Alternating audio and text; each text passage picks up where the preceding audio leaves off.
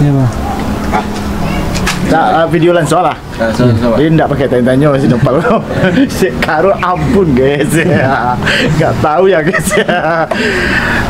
Baik, Assalamualaikum warahmatullahi wabarakatuh Salam jumpa bersama Arwo pada saat ini Eh, Pada kesempatan sore ini uh, Arwo lagi bersih-bersih Ini adalah mesin tempel 15 PK hmm, Yang biasa sehari-harinya buat melaut Nah, sebelumnya sebelum kita masuk kepada pembicaraan kita pada saat ini, Putih putih. Eh, sedikit perlu juga uh, Pak Uwo sampaikan kepada kawan-kawan semua.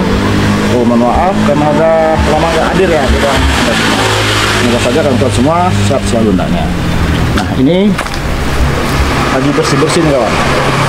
Ini adalah mesin Yamaha 15 15 PK ini.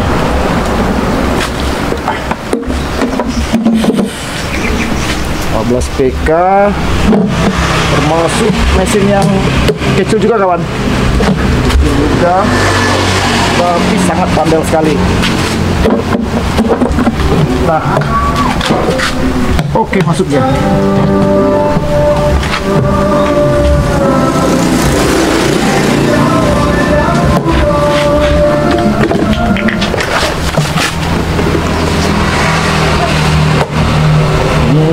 biasanya ini udah direhab dulu. Tutupnya ini sering pakai kawan tidak apa-apa. Tapi kan ketemu nih rahasianya nih. Oh dia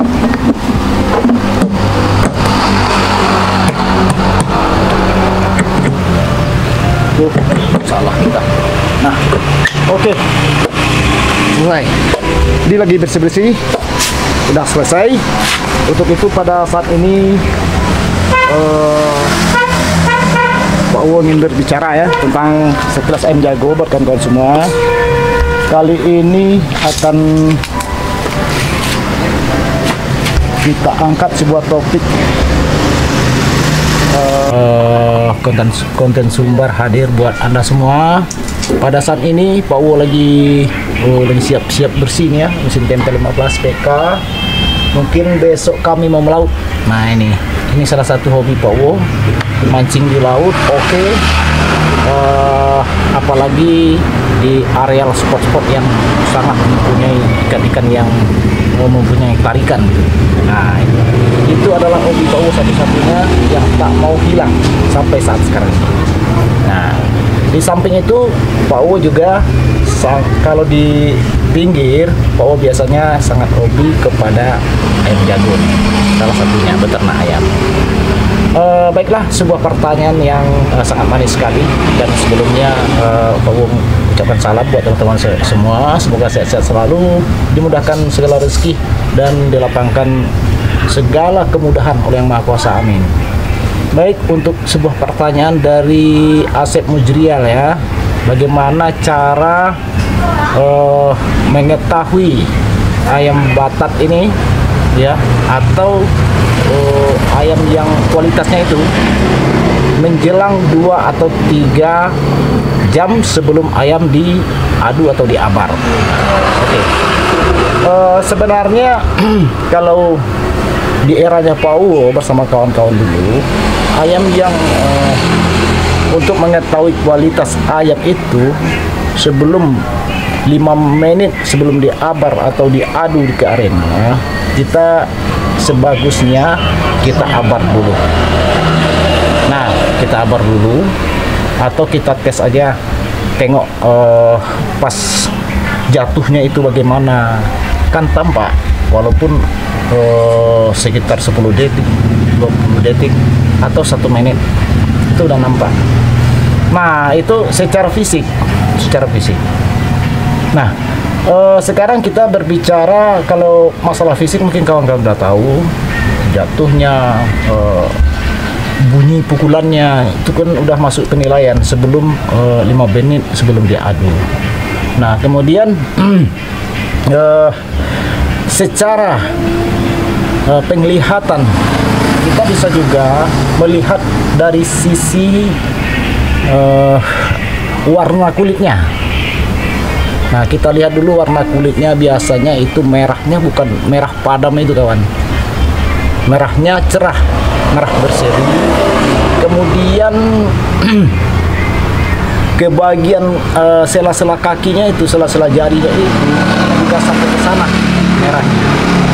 Nah, begitu. Jadi ini eh, kita lihat dari eh, cara pandang kita aja. Jadi merah berseri bukan merah, merahnya itu memucat atau merah berubah-ubah bukan begitu. Murahnya berseri bukan murah merahnya hitam. Nah, berseri dan sampai merah itu mengarah ke sela-sela jari. Hmm, begitu. Kemudian tingkat kegairahan. Nah, itu perlu juga kita perhatikan. Biasanya eh, ayam yang mau kita abar ke atau kita adu ini tingkat kegairannya itu kegairannya itu ter- amat sangat gitu. Biasanya begitu ciri-ciri ayam yang yang sehat. Nah, dan kemudian dari sisi eh, apa gini, kita bisa juga menilai dari eh, taiknya itu. Taiknya. Taik ini sebenarnya sangat menentukan sekali.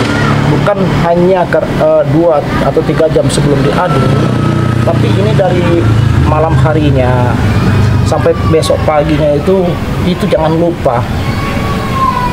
Nah, jadi tai ayam malam itu kalau dia sehat itu paginya itu kita lihat keras cirinya, tainya itu.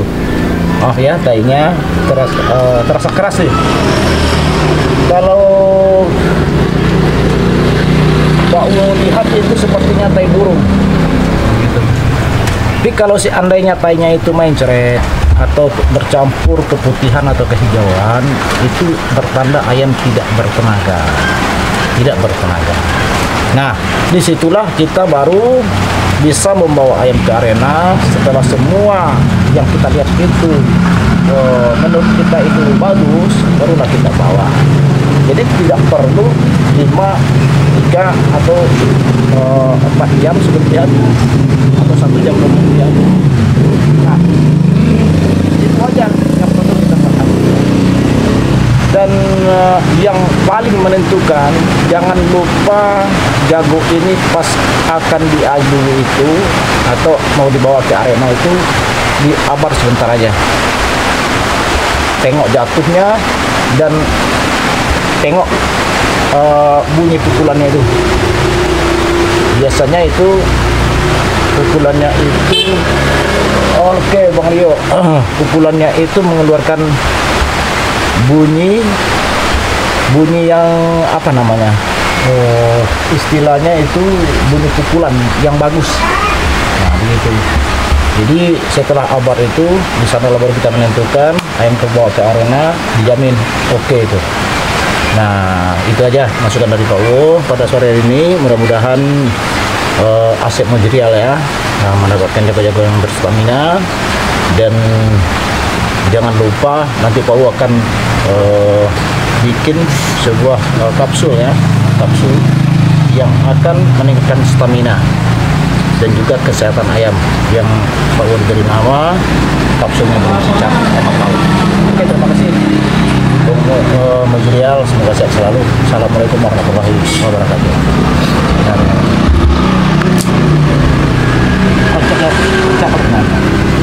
Itu jadilah itu eh, sudah sedang.